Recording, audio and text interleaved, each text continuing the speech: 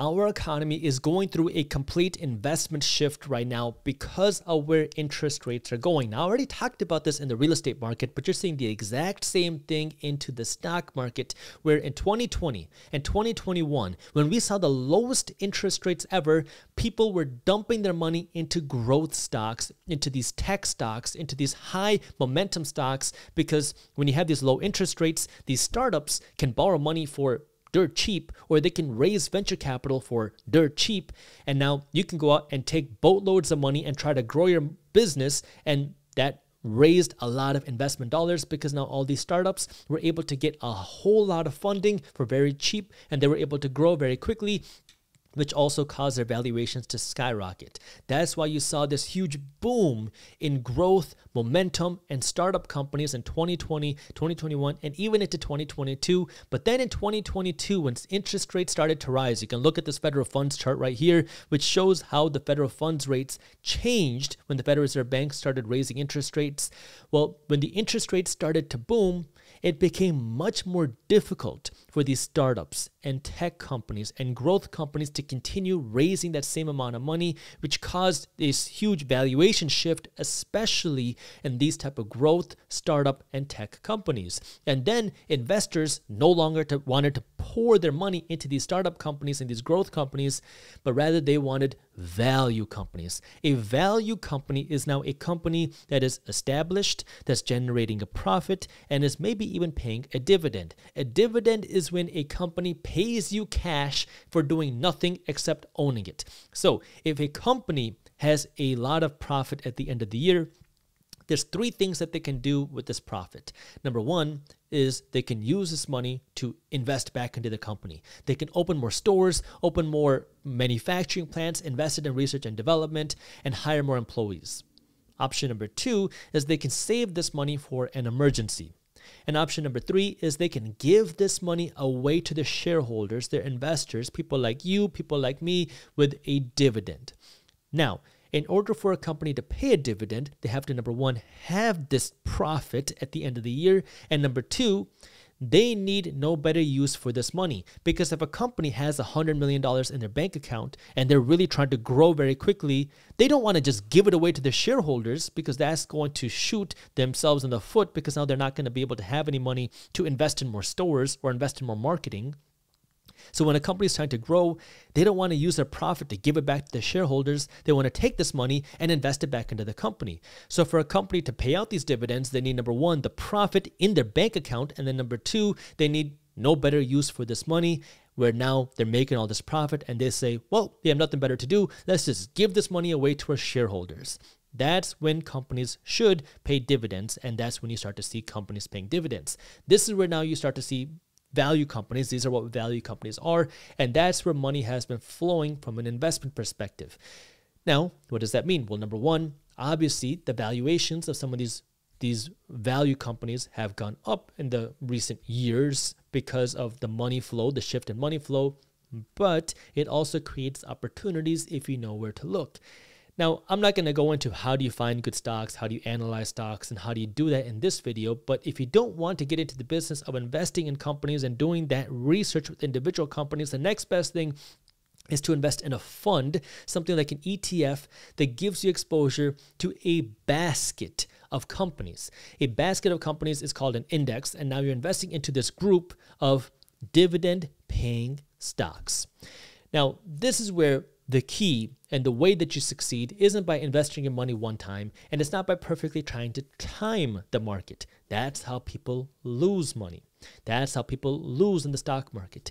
If you want to win as an investor who's trying to generate cash flow from the stock market, now what you want to do is you want to find these ETFs, these dividend paying ETFs, and just invest your money every week every two weeks, every month. Every time you get paid, you just keep buying more of these things that are now paying you with cash flow. The advantage of investing into this type of fund is now you have reduced your risk because you might have a fund that invests into 500 companies.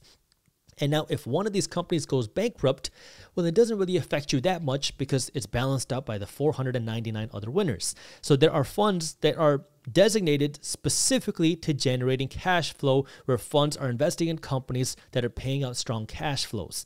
Now, again, if one of these companies cuts their dividends or no longer offers a dividend, it's okay because now this fund will kick that company out and put another company in, and it's balanced out by some of the other dividends. That's the advantage of investing into these types of dividend paying ETFs. And for this particular number three, I'm talking about domestic dividend paying ETFs, meaning companies inside of the United States. Now, I'm going to give you a few examples. I'm not telling you what to invest in, I'm just giving you some examples.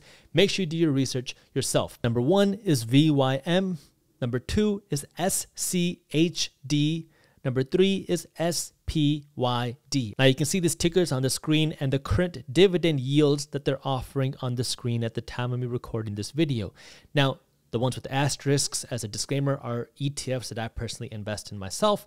But this is where now the way that it works is you are buying this fund that way now you can generate cash flow and you're doing two things. Number one, you're going to keep buying more shares of this fund. That way, every time you buy more of this fund, you're going to buy more cash flow. Anytime you get paid, you're buying more cash flow. You're just throwing more money into this to buy more cash flow. Every time you throw more money in, you're going to get more cash flow out. And the second thing now, if you really want to win in this game, is when you start getting your dividends, which are generally paid quarterly, meaning every three months, instead of taking the money and using it to fund your lifestyle, for now, use that money to buy more cash flow. So every time you get paid, you're buying more cash flow. And every time you get cash flow, you're using it to buy more cash flow. That way you're just building this machine. You're making money, buying cash flow. Your cash flow is making you money, you're buying more cash flow because if you do this for a decade, you're going to surprise yourself at how much cash flow you can create if you stick with it because now you're just working to pad that cash flow. You're buying more little pieces of machines that are going to pay you with more cash flow.